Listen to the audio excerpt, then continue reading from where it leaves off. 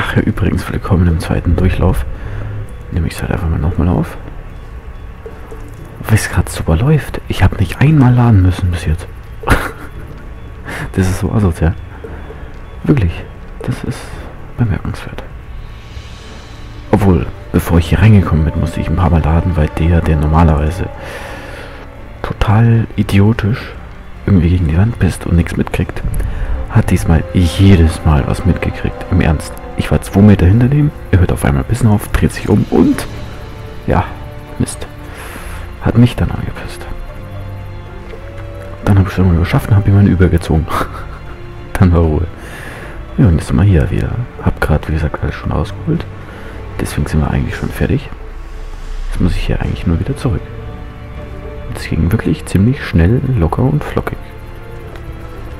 Sollte man gar nicht glauben, wenn man, den, wenn man die vorige Folge gesehen hat. Ah.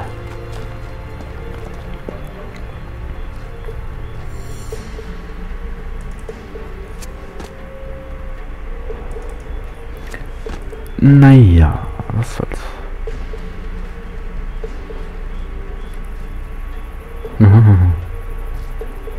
Ich glaube, der kommt hierher. Kommt er nicht? Fackelschein? Ich sehe auch keinen. Ganz schönes Schwein gehabt.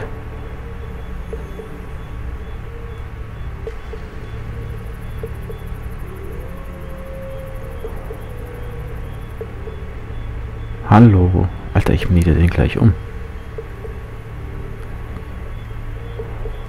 Okay, jetzt nicht. Ah, doch nicht. Ich habe die Fürchtung, dass wenn ich da hinlaufe, er sich umdreht.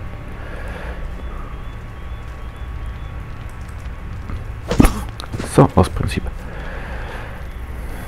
Ui, die Fackel. Übrigens, die da haben einige extreme Ansichten zu uns Hotel. Also die... Ja, das nicht. Aber sie waren der Meinung, ach, schlachten wir doch alle Elfen ab dann ist Ruhe und auch die ganzen Frauen und Kinder, weil ich meine, die werden ja auch vielleicht Square Tell. Ja, da wissen wir, wie sich entwickeln wird. Es das hat los. mir gleich nicht gefallen. Loredo lagert hier einige wertvolle Geschenke hiesiger Kaufleute. Er befürchtet wohl einen Angriff von Jorvet. Außerdem habe ich gehört, wie der Kommandant mit Sheila sprach. Worum es genau ging, weiß ich nicht, aber anscheinend will er ein Geschäft abschließen. Mal sehen, was er sagt. Für Versprechungen kannst du deine alte flachlegen. Zisch ab.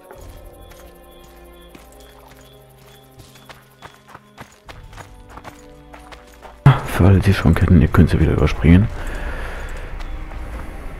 Morgen. Los, hinein. Sie warten schon. Und wohin jetzt? Das ist ja ein Riesenstall. Ihr geht nirgendwo hin, Herr... Jedenfalls nicht du. Wir haben Befehl, niemanden außer dem Hexer einzulassen. Hund, Räudiger. Du willst es hässlich? Das kannst du haben. Wenn du hier Krach machst, ruf ich Verstärkung. Schon gut. Bestell Loredo, dass ich die Botschaft verstanden habe. Leb wohl, Roche. Kein Geld, wie? Der Kommandant ist mir mein Sold schuldig. Komm wieder, wenn er es nicht bläst. Ich bezahl dich noch. Bestimmt.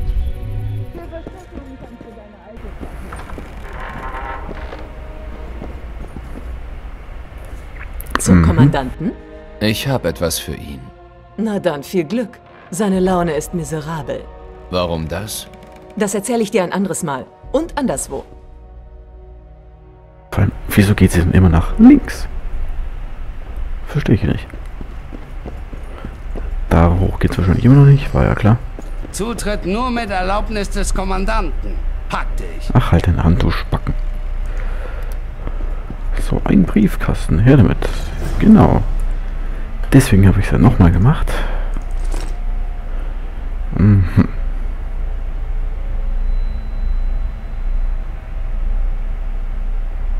Der Schatz des Nilfgaardes. Das wissen wir ja jetzt.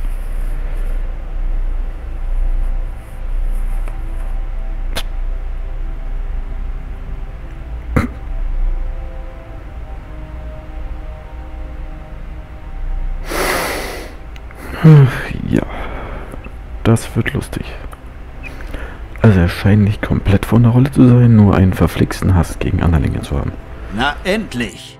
Sie wollten mich nicht vorlassen, solange die Zauberin hier war. Hast du sie gesehen?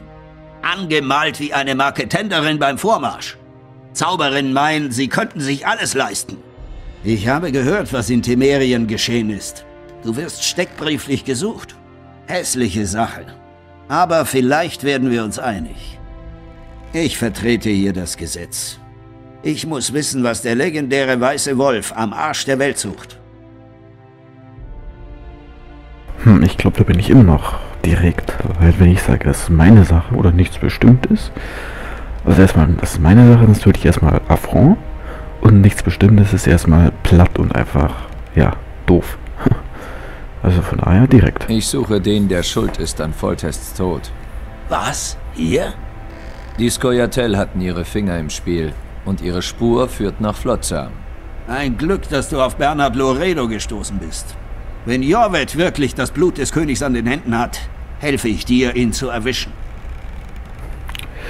Ich will nicht Jorvet, das will ich eigentlich klarstellen, weil ansonsten missbraucht er halt die Information und hetzt halt wahrscheinlich die Einwohner dagegen auf.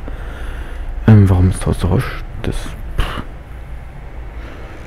Hm, stellen wir es lieber klar. Mich interessiert allein der Königsmörder. Ein riesiger Kerl, kaum mit jemandem zu verwechseln. Hat er? Ja, er hat Foltest getötet. Und nun verkriecht er sich in diesen Wäldern. Da sollten wir ihn doch zu fassen kriegen. Du bist doch hoffentlich auf unserer Seite. Welche Seite ist das? Die der Menschen von Flotsam, die seit Jahren von Elfenbanden terrorisiert werden. Ja, da, hm. Für Banditen gibt es kein Erbarmen. Es sind Banditen. Das stimmt tatsächlich. Das ist eure eigene Schuld. Stimmt mehr oder weniger auch. Und da mische ich mich nicht ein. Ich werde es wahrscheinlich müssen, aber ich will es eigentlich nicht so wirklich. Das ist eher eure Angelegenheit. Euer Zwist ist nicht der meine. Du hast aber in der Nähe von Flotsam Elfen getötet. Sie hatten uns angegriffen. Hexer, du begreifst nicht. Nein, du begreifst nicht, Loredo.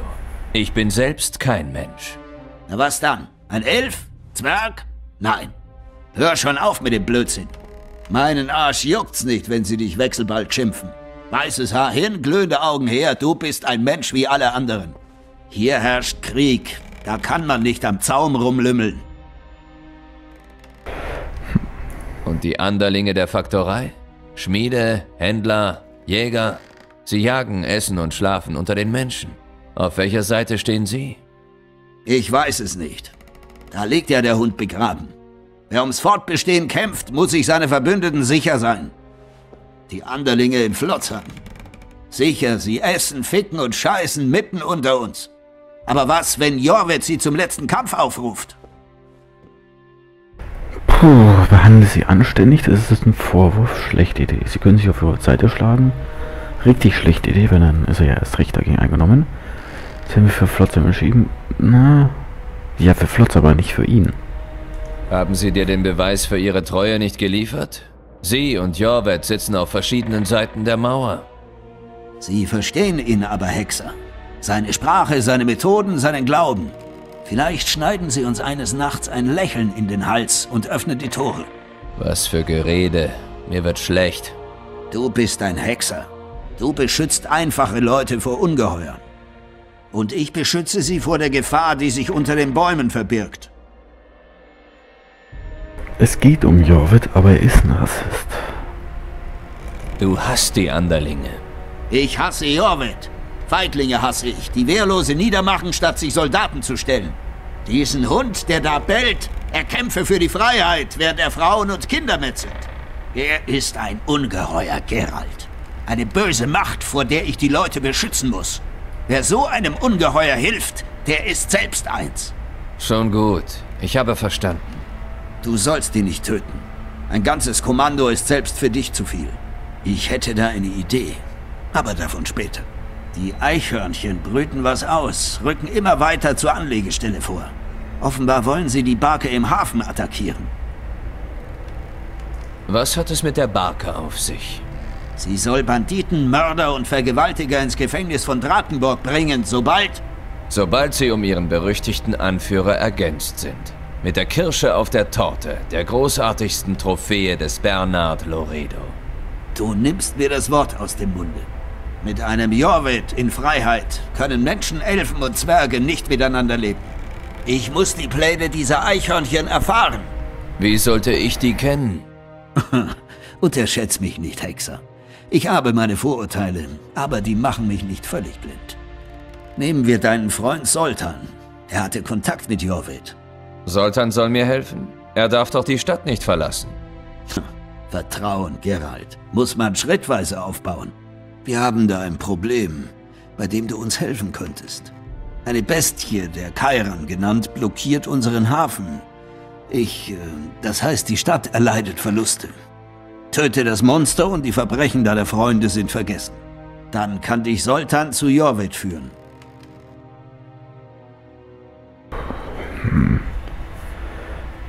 Ich bleib immer noch vage. Ich spreche mit Soltan. Hoffentlich fasst du den richtigen Entschluss. Leb wohl.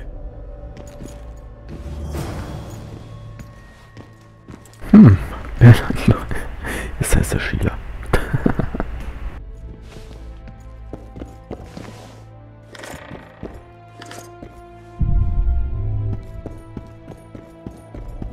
Was gibt es Neues, Hexer? Ganz schön viele Soldaten für eine kleine Faktorei. Die Handelswege ziehen Räuber an wie Scheiße fliegen. Nur Soldaten können für Sicherheit sorgen. Wir sind die letzte temerische Siedlung in diesem Land. Und wir lassen uns nicht von einer Bande Elfen verjagen. Jorvet loszuwerden wird nicht einfach. Er mag hartnäckig sein, aber wir sind auch nicht ganz ohne. Ich lasse nicht zu, dass die Skoyatel Flotsam niederbrennen, wie es ihre Art ist.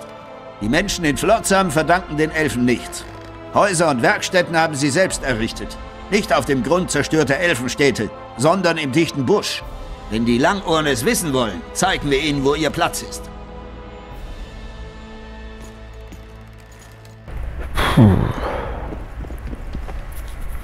Was haben wir Neues?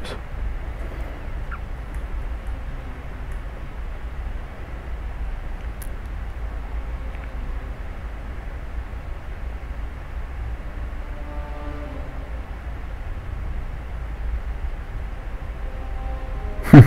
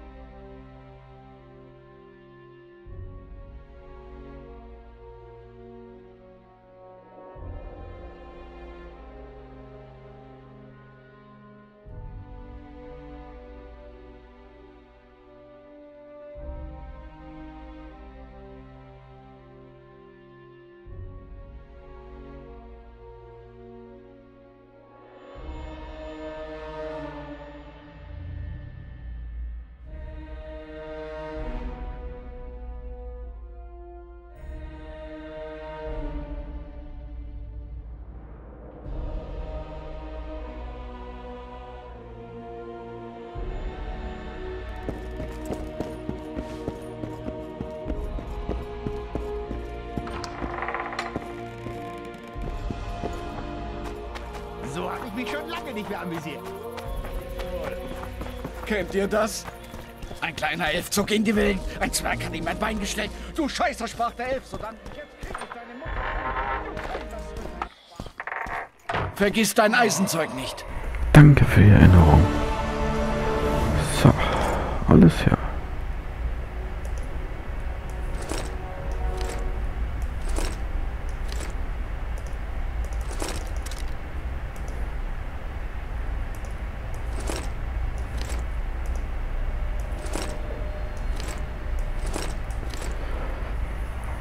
Puh.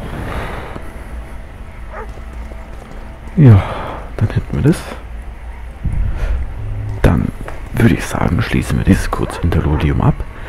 Und wir sehen uns in der regulären Folge beim nächsten Mal. Ciao, ciao.